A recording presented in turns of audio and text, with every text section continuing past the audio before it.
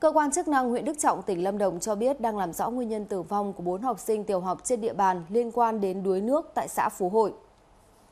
Nạn nhân gồm các em Kasa Ha Phinh 8 tuổi, Kasa Ha Phát 6 tuổi là em ruột của Ha Phinh, Kasa Ha Khang 10 tuổi cùng chú tại thôn R Chai 3 và Ha Thinh 8 tuổi ngụ tại thôn R Chai 2. Vào khoảng 15 giờ ngày hôm qua 19 tháng 5, bốn em học sinh trên cùng nhau ra hồ nước phía sau bưu điện xã Phú Hội tắm. Trong khi tắm, một em bị trượt chân xuống hồ, ba em còn lại tìm cách cứu nhưng cũng không may bị đuối nước tử vong. Nhận được tin báo, Công an huyện Đức Trọng cùng với các đơn vị liên quan đã nhanh chóng có mặt, thực hiện các thủ tục khám nghiệm và điều tra nguyên nhân vụ việc.